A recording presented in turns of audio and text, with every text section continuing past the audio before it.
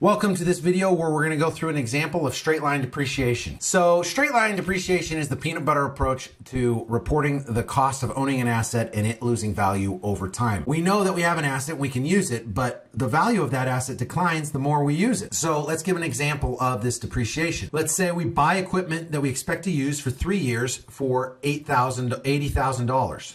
And at the end of the period, we expect to sell it to a used equipment dealer for $10,000.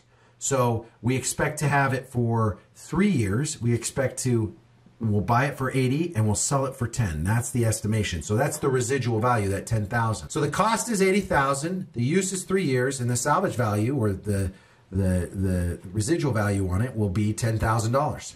So how much of it are we using up? Well, according to these assumptions, we're using up about 70 grand. And this peanut butter approach basically takes that 70 grand and divides it by three and allocates that amount each year uh, to the accumulated depreciation and then also reports that amount on the income statement as depreciation expense. So the cost is 80,000 minus the 10,000 salvage value is the 70,000 cost consumed. And then the 70,000 cost consumed is divided over three years used. And then we have our depreciation expense and accumulated depreciation journal entry for those three years. Let's see how that looks on the balance sheet and income statement. We'll report accumulated depreciation of 23,333 and we'll have a credit there. It will maintain a credit balance and we'll build that credit balance each year until we've depreciated the full value that we expected to, to use the asset for. And then we'll have a depreciation expense each year. And the depreciation expense will be 23,333. So what's the net equipment value on the books after year one is the question. Well, we bought it for 80 and now we have accumulated depreciation to net it with because accumulated depreciation is, it's not, it's not like one of these accounts with cash, right? You, you credit cash and the cash is it's gone, right? It's gone. It's, it's, in, it's in the wind. Accumulated depreciation stays with us on our books. We track it. It maintains a credit balance and it increases with credits and decreases with uh, debits. It's weird because it's a contra asset account. These contra asset accounts maintain these balances that are opposite to how we normally think of assets and because they're intended to accurately assess the value of the asset. So what's the equipment value after year one? Well, we bought it for 80 and we have accumulated depreciation of 23,333, just the 80,000 minus the 23,333 on there. Okay, so let's see what we do in year two. In year two, uh, it, we have accumulated depreciation is the same. Remember, it's the peanut butter approach. Same amount each year, evenly spread over time. We're going to have this is the same journal entry, accumulated depreciation, and then depreciation expense in year two. It's the same amount, but a new entry for the next year. Well, what's the um, net equipment value after year two is the question. We now have accumulated depreciation of not 23,333, but two entries of that. So it is what is it? It's 40,600 and 46,666. That's the total.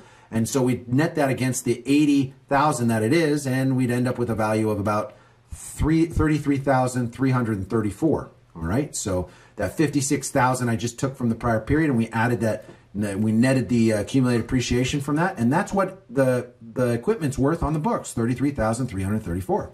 All right, let's do the last entry. And the last entry, we have accumulated depreciation of 23,333. We have depreciation expense in that third year of the same amount. And what's the net asset value on the books? Well, if we only use it for three years and we've been depreciating for three years and we're using straight line, for sure, the asset value on the books should be, if you're thinking zero, you're wrong it should be the residual value, right? Because our plan was to sell this in the third year. And if we're selling it in the third year, then we need that $10,000 to stay on there. And that's our estimated value at the end of it. So we'll sell it at that year. And some of you are saying, well, wait, Kyle, a lot of times we just don't wait till to sell it and get a residual value. Sometimes we depreciate it down to zero. Sometimes we sell it before that. And you know what? Three years is a long time. How do we know we're going to get that 10 grand?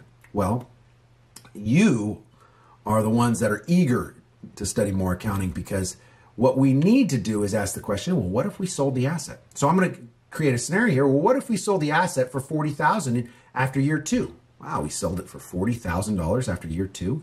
So we've included the depreciation expense and accumulated depreciation. We have two entries for year two. And let's just assume, let's take out some assumptions here and, and move things around just a little bit so that we can, we can organize ourselves.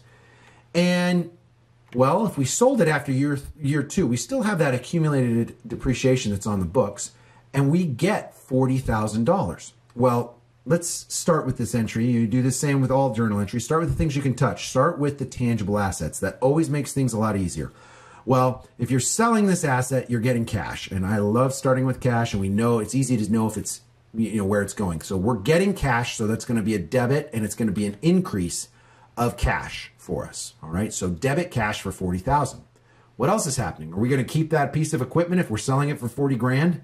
No, that goes off the books. So we're going to have an asset get credited. Credit the asset for $80,000. And some of you are like, wait a second, Kyle, I thought it had a net value of uh, much less than that. Yeah, it does have a net value, but the asset's still recorded at, his, at its historical cost. Where do we account for that net value? Remember, that's your accumulated depreciation. You're actually going to debit your accumulated depreciation for the total amount you've been depreciated. It's been depreciated over time.